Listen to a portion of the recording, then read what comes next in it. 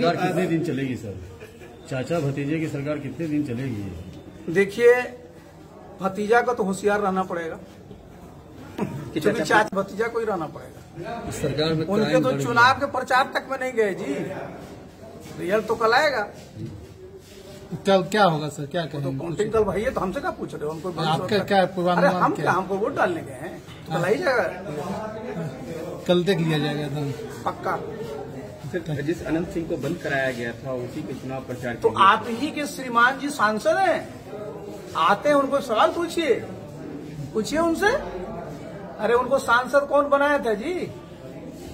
मुंगेर के जितने एनडीए के कार्यकर्ता थे। अभी घूम किस कैसे रहे? आखिर भाई अब तो उनका लक्ष्य के सामने हम जब मर्ज ही करने जा रहे हैं तो कार्यकर्ता लोग तो जाए जहाँ जाना है। सर तो क्या लगता है वो अगली बार फिर से सांसद बन पाएँगे? क्वेश्चन नहीं उठता। है जरा आप देख लीजिए छह विधानसभा है बाढ़ बीजेपी लड़ी जीत गई। मोकामा जेडीयू लड़ी हार गई। आप आइए लखीसराय बीजेपी लड़ी जीत गई। सूरजगढ़ है जेडीयू को लड़ाया हार गई। आगे चलिए आपका जहाँ क्षेत्र है ये, यहाँ जेडीयू को उम्मीदवार हार गया और बीजेपी का जीत गया मुंगेर। तो श्रीमान जी कहाँ से जीत हासिल करेंगे? जमानत जमा बचाना मुश्किल होगा जी। 24 पिछले की बार बात आपने कह दी। थे देखिए मैं बता दूँ। हम लोग नॉमिनेशन में आए थे घर घर जा करके लोगों से वोट मांगे। कोई मुंगेर विधानसभा का लोकसभा के रहने वाले हैं। सर क्या ललन सिंह का अपना कोई जनाधार नहीं है? नीतीश कुमार के चेहरे ज़ीरो बटा सन्नाटा आधार है।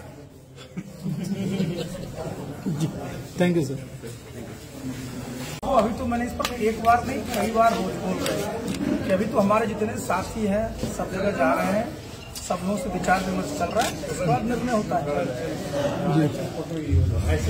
सर कयास तो कई भी लगाए जाते हैं कि भाजपा के साथ जाने वाले हैं कि भाजपा के साथ भी जाने वाले हैं। क्या उसमें भी कुछ है क्या? अरे भाई ये तो कयास लोग लगाते ही रहते हैं। हम्म। मैंने बता दिया ना देखिए बात आप तो जानते हैं ना जी की मैं तो एनडीए में मंत्री रहा हूँ। तो स्वाभाविक है काम किए बीजेपी के साथ। लेकिन हम तो अपने जितने हमारे साथी हैं सबके यहाँ जा रहे हैं सबसे विचार विमर्श हो रहा है उस पर हम लोग निर्णय लेंगे। बिहार की आज जो राजनीतिक स्थिति बन गई है उस पर क्या कहेंगे सर? बिहार की स्थिति तो बहुत ही दयनीय है। आपने ठीक पूछा। आप जरा सोचिए किसी भी प्रदेश का मुख्यमंत्री अगर कहीं निकलते हैं और उनके साथ कोई दुर्घटना हो जैसे देखिए छठ घाट के निरीक्षण के लिए मुख्यमंत्री निकलते हैं। पूरा अमला उनके साथ सरकारी स्टीमर है, सब लोग हैं। और वो स्टीमर बैठे हुए हैं। स्टीमर टकरा जाती है, मुख्यमंत्री जी को चोट लग जाता है। क्या है जी प्रदेश में इससे ज़्यादा क्या हाल हो सकता है? कि मुख्यमंत्री सुरक्षित नहीं है बहुत गंभीर बात है मतलब क्या हो रहा? है कोई किसी चीज़ पर ध्यान नहीं दे रहा। बताइए, क्या आप स्टीमर पर जा रहे हैं? स्टीमर टकरा जाएगी? ये क्या है?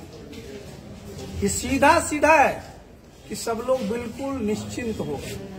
किसी को शासन से, प्रशासन से जिसको सुशासन का कोई चिंता नहीं। सब लोग बेपरवाह हैं। आप समझ लीजिए कि क्या हुआ होगा? लोग मौज मस्ती कर रहे होंगे।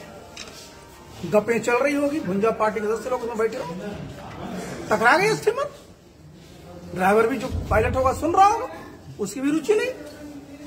तो ये तो एक इंडिकेशन है। मैंने इसलिए जानबूझ के आपने बताया कि क्या स्थिति है इससे बदतर क्या स्थिति होगी? और मुख्यमंत्री जी को बार बार ये बताना पड़ रहा है कि मुझे चोट लगी हुई है। सर एक सवाल है कि हमेशा ये बात आती है कि मुख्यमंत्री जी भुंजा पार्टी करते हैं। आखिर इसके पीछे है क्या? अरे बहुत स्पष्ट है।